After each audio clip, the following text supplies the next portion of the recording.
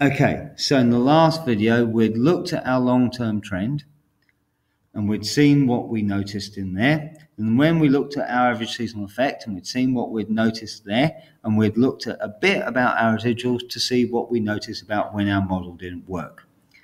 The whole point of time series is that you are making a forecast for the future.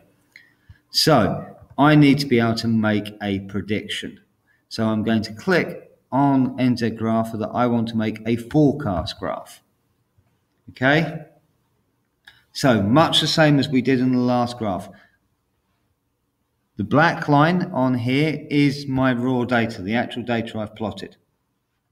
The green line is my prediction historically for that data. So it's looking at the long-term trend and the seasonal effect and it's plotting those on top of each other.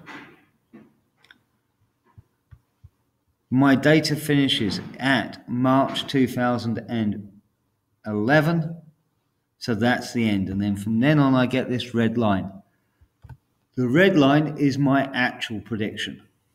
The pink bit, either side of the red line, is my, I'm going to be fairly confident in between these two variables, these two values. So it's kind of like a prediction but it giving you a range of values because we know this isn't very good. It's actually not a bad graph looking at all the way across, but we know that there's going to be variations as time goes on. Now, NZ Grapher will only predict for the next two years, which is why it stops in March 2013.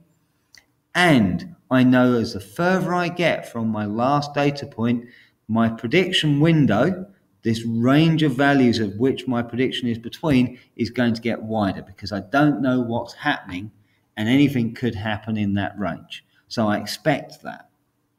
Okay. However, I also want my range of values to be the smallest it possibly can be.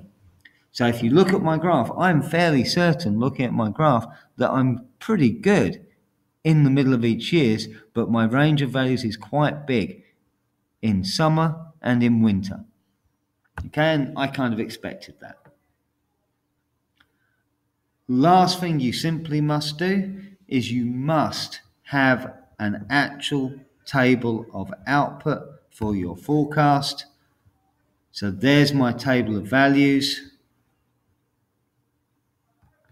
And in your report, you must pick one point or a couple of points and say, in February of 2012, I predict the area of sea ice to be some be 1,435 million kilometers squared of sea ice.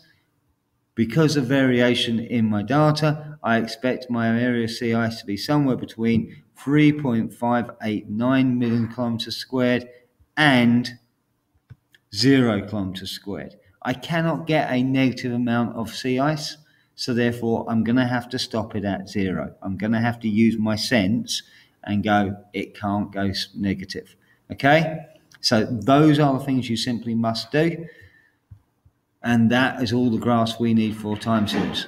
Now, at this point, if we are trying to get you to show insight, insight into your data, you might choose to draw a graph of combining different variables. You might choose to draw a graph of other things you need to have a look at how to use the program because it's all available in both NZ Grapher and in iNZight Lite for you to actually do that. You don't need to use anything else. But if you want to use something like Google Sheets or Excel, you could help yourself with that. Okay? There is no compulsion of you drawing any extra graphs or doing any extra work from where you are now, as long as you show insight in what you've done so far. But if you found some other research or if you did something else that showed insight or you want to do an extra graph, you could. But that's all you have to do. Okay, so that is time series in a nutshell. Till next time.